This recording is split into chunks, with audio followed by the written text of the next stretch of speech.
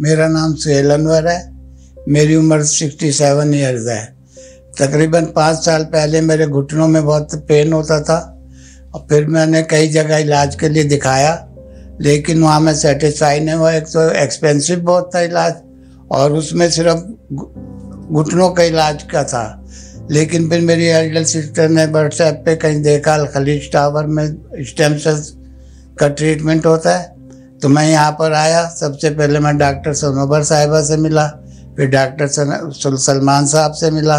उन्होंने मुझे, मेरे टेस्ट लिए, एक्सरे लिए। फिर मैंने अल्लाह के भरोसे पे उनकी जो बातें की, उन्होंने उस पर अतमाद करते हुए मैंने ये स्टिम सेल्स का प्रोसेस कराया।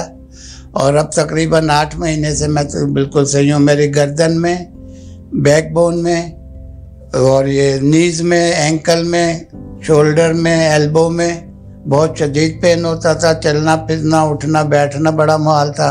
मेरी नमाज़ तक छूट गई थी, क्योंकि मैं नमाज़ खड़े होके या बैठ के भी नहीं पढ़ सकता था। तो जब मैंने ये ट्रीटमेंट करा लिया फिजियोथेरापी कराई, वर्जिशें कराई इन लोगों ने, बहुत सारा ख्याल रखा तो उसकी बदौलत आज मैं इस काबिल हूँ कि अलहमदिल्ला मैं नमाज़ भी पढ़ सकता हूँ।